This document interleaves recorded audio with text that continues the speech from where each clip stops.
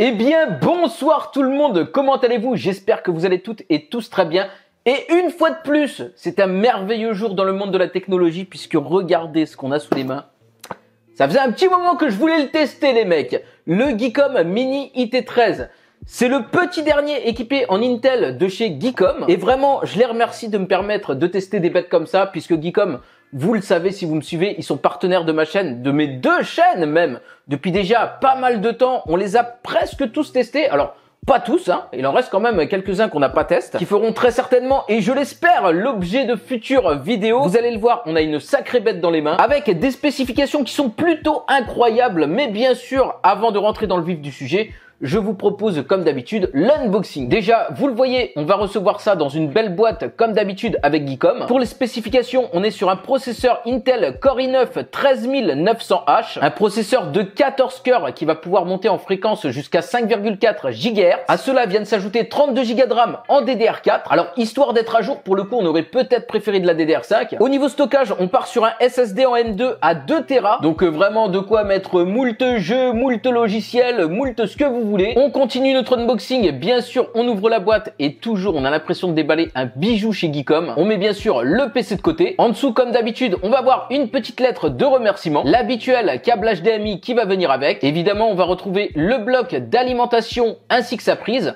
le bloc d'alimentation qui est plutôt balèze pour le coup, le manuel de l'utilisateur bien évidemment, l'habituelle plaque en métal pour pouvoir le monter directement derrière un écran et en faire un PC tout en un, et bien sûr les vis qui vont avec. Et voilà donc ce que donne au complet l'unboxing de ce Geekom Mini IT13. Au niveau connectique, sur l'avant, on va retrouver deux ports USB 3.0, une prise jack 3.5, ainsi que le bouton Power. Sur le derrière, on va bien sûr retrouver la fiche d'alimentation en 19 volts, deux ports USB-C, un port USB 3.0, un port USB classique, une prise HDMI ainsi qu'un port Ethernet. On remarquera bien sûr l'énorme grille de ventilation pour pouvoir dissiper la chaleur. Sur le côté plutôt cool, on va retrouver un port de carte SD qui va nous permettre d'insérer de grandes cartes SD. Donc on ne se limite pas simplement à de la micro SD et ça c'est intéressant. Sur le dessous de notre PC, on va retrouver quatre petits patins en caoutchouc histoire de bien adhérer sur notre bureau. Au niveau connexion, qu'est-ce que ça donne? Alors on a téléchargé quelques jeux bien sûr pour pouvoir tester ça un petit peu plus en profondeur.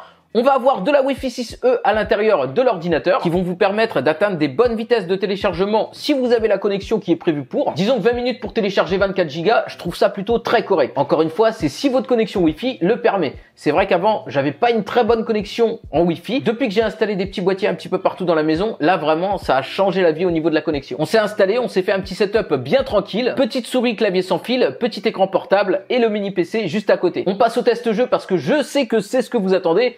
Pourquoi je dis ça? Puisque je le vois dans les stats des vidéos, vous appelez la partie unboxing et vous allez directement voir comment que le PC tourne. Eh bah oui Et donc on a téléchargé quelques jeux bien sûr et je vous propose de voir ce que ça donne sur un petit Splendid Deep. Alors dès le premier lancement du jeu, j'ai tout de suite remarqué que l'Intel Iris Xe allait être en dessous de la 780M de chez AMD. Dernièrement, j'ai testé un mini PC équipé d'un Ryzen 7 et une 780M j'ai été vraiment bluffé sur les performances au niveau du gaming. Là, on va être un peu plus haut au niveau processeur puisqu'on passe sur un i9 cadencé à 5,4. Par contre, on va être plus faible au niveau de l'IGPU qui est basé sur un Intel Iris Xe. À l'heure actuelle, sur cette génération, sur les mini PC, mini PC portables, AMD vont tout de même avoir une petite longueur d'avance par rapport à Intel. Au niveau des graphismes, vous le voyez, on est en moyen, on est en 1920 par 1080. J'ai tenté d'activer la synchronisation verticale avec une image, là où la 780M avait vraiment excellé. Là, on voit bien que l'Iris XE a un petit peu du mal avec la synchronisation verticale. J'ai donc désactivé la synchro verticale, j'ai réglé les graphismes sur bas et on peut tout de suite voir que le jeu retrouve de la santé. Pour faire un comparatif avec la 780M, la dernière fois on était sur des réglages en élevé avec la synchro verticale d'activer à une image et le jeu était encore loqué sur 60 fps. Stranded Deep reste bien sûr très validé sur ce PC. C'est vrai que la différence entre les deux n'est pas extraordinaire, il n'y a pas un gros cap, mais elle est notable tout de même. Deuxième jeu, cette fois-ci avec Mad Max. Mad Max, un jeu que j'adore. Comme d'habitude, je le mets dans les tests des mini PC. Au niveau graphisme, voyez qu'on s'est réglé sur 1920-1080 en 60 Hz. Donc on est en Full HD. On va avoir un mélange de graphisme entre normal et élevé. Et là, pour le coup, Mad Max tourne extrêmement bien. Alors on est sur un jeu vraiment qui commence à bien dater. Hein. Mais euh, c'est un jeu que je mets toujours sur mes tests de mini PC puisque franchement, je l'adore. Et euh, voilà, je trouve qu'il vieillit pas tant que ça. Franchement, il est génial. Je le mets un petit peu dans la même tranche que les Batman. D'ailleurs, c'est puisque c'est une production Warner Bros au passage. J'ai essayé avec des graphismes élevés et donc là, on peut voir qu'il y a quelques petits bégaiements Voilà, ça, ça se voit tout de même. Hein. Encore une fois, la différence n'est pas énorme avec la 780M, mais elle est notable. Ça va être vraiment le maître mot de cette vidéo, c'est que sur la partie gaming, l'Intel Iris Xe va être légèrement en retrait par rapport à AMD. On repasse donc en normal sur la partie graphique, et là, vous le voyez, vraiment aucun problème. Le jeu tourne extrêmement bien. On passe sur Resident Evil 7, qui n'a vraiment eu aucun mal à tourner sur le mini PC. Vous le voyez, j'ai voulu vérifier un petit peu la chauffe du PC parce que je trouvais qu'il soufflait pas mal par moment et donc c'est vrai qu'il y avait quand même pas mal de chaleur qui se dégageait de cette grille de ventilation. Bon après c'est fait pour, encore heureux que le PC souffle. Au niveau des graphismes, on s'est mis en Full HD. Pour les réglages, on va avoir un mélange entre moyen et haut. Synchronisation verticale d'activer et donc vraiment vous le voyez, aucun problème pour Resident Evil qui tourne très très bien sur le mini PC. À noter que j'ai quand même remarqué quelques petits accros par moment mais vraiment de très très légers accros.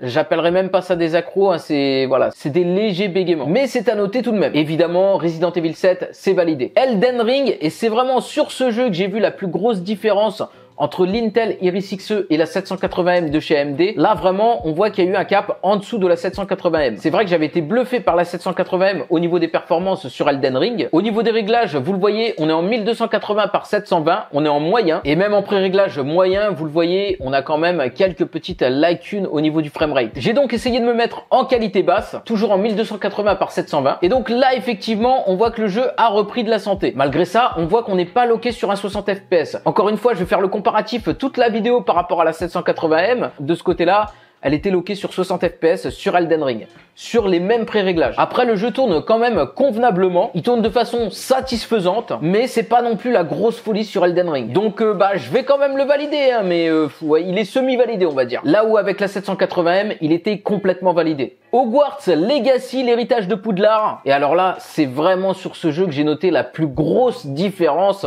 avec la 780M de chez AMD. Chez AMD, il aura aucun mal à faire tourner Hogwarts Legacy. Vraiment, j'ai été bluffé dans une qualité plus que correcte. Là, j'ai essayé de toucher un petit peu les graphismes. Je me suis mis en mode AMD FSR2 ultra performance. Au niveau des graphismes, je me suis mis en moyen. Et donc, euh, je n'ai pas cherché à aller plus loin puisque j'ai carrément eu un plantage du jeu en fait. Voilà, le jeu a planté. Je pense que là, euh, on arrive... Euh, au maximum de ses capacités. Mais alors vous allez me dire, mais Jolat, où est-ce que va exceller notre i9 13900H Eh bien c'est sur la partie travail et c'est vraiment là que le processeur m'a étonné. La partie gaming, vous l'aurez compris, c'est pas spécialement ça, même si vous allez pouvoir jouer quand même, vous l'avez vu, hein, pas mal de jeux, vraiment beaucoup de jeux. Vous n'allez pas jouer au dernier blockbuster. Hein. De toute façon, les mecs, même avec la 780M, vous n'allez pas jouer au dernier blockbuster. Hein. Voilà, vous démarrerez pas, euh, par exemple, un Dragon's Dogma 2, euh, un euh, Enshrouded, euh, voilà, pour ne citer que parce que c'est eux que j'ai testé la dernière fois sur l'ordinateur.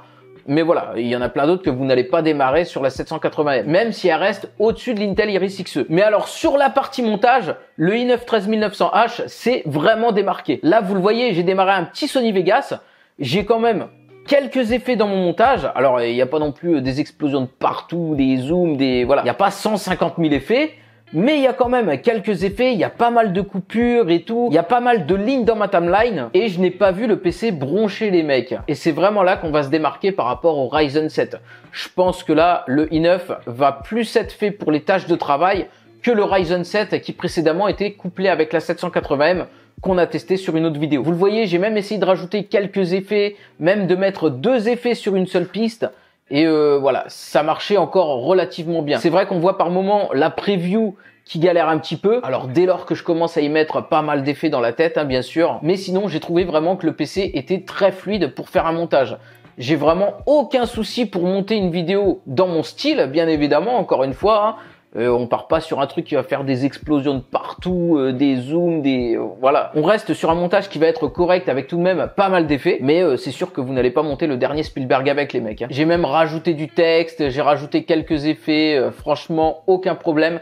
Et c'est vraiment là la puissance du i9 13900H. Ça va être sur la partie tâche de travail. Certes, au niveau de l'IGPU, l'Intel Iris Xe va être en dessous du 780M de chez AMD. Mais par contre, au niveau de tâche de travail, l'i9 va être au-dessus du Ryzen 7. À voir ce que ça donne avec un Ryzen 9, que je n'ai pas encore testé, bien évidemment. Cerise sur le gâteau, j'ai tenté un rendu en 4K et il m'a fait le rendu de la vidéo en 4K sans aucun problème.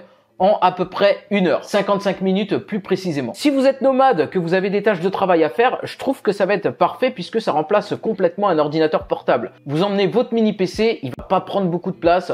Vous emmenez un petit écran qui se déplie comme j'ai là, un petit clavier souris sans fil, tac tac, et vous faites ce que vous avez à faire. Montage vidéo, euh, traitement de texte, si vous avez des emails, euh, tout ça. Vous voyez, vous allez quand même faire pas mal de choses. Et bien voilà, en tout cas, c'est tout ce que je pouvais vous dire sur le mini IT13 pour le moment puisque va y avoir une deuxième vidéo sur mon autre chaîne où je vais tenter de transformer cette machine en émulateur de console. Et je pense qu'à mon avis, il y a moyen que ça envoie du lourd. Puisqu'on le sait, les émulateurs, ça va plutôt tirer sur le processeur. Là, on est quand même sur un i9 13900H avec de bonnes performances. Et donc, tout simplement, si ce n'est pas encore fait, je vous invite à me suivre sur mon autre chaîne qui se trouvera dans la description, ainsi que le lien pour en savoir plus sur le Geekom Mini IT13. Je vous remercie de m'avoir suivi. Je vous dis à bientôt pour de prochaines aventures. N'oubliez pas de vous abonner. Salut